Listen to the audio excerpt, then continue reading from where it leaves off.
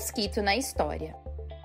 O mosquito Aedes aegypti tem apenas um centímetro, mas pode transmitir doenças como dengue, febre amarela, chikungunya e zika vírus. Hoje atinge mais de 100 países. Apareceu pela primeira vez na África. De lá para cá, visitou uns tantos continentes até abraçar o planeta e funcionar como uma espécie de ameaça à saúde pública mundial. Em território nacional, desde o início do século XX, o mosquito já era considerado um problema. À época, no entanto, a principal preocupação era a transmissão da febre amarela.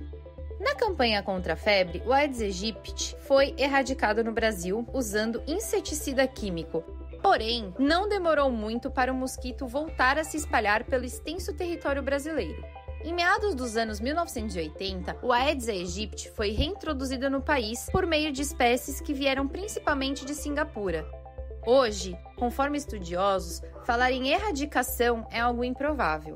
O fato de usarmos muitos inseticidas químicos fez com que os mosquitos mais resistentes.